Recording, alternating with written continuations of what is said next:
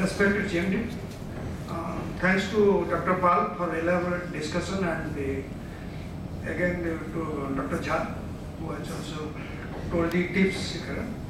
I think we last, for last three years, we have not got a single case of the snake bite. Three years back, we got a patient which was a compartmental syndrome.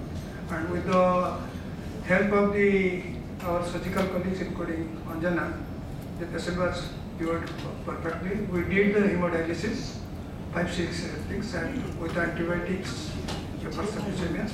And the dressing, he stayed in our hospital for, for one month or more, and he recovered nicely. So uh, earlier, whatever we were getting, were because this is a reference center, we were getting the patients from the other areas, eastern villages, for the renal failure. And they managed not a single person uh, death we have got in due to snake. Thanks a lot again.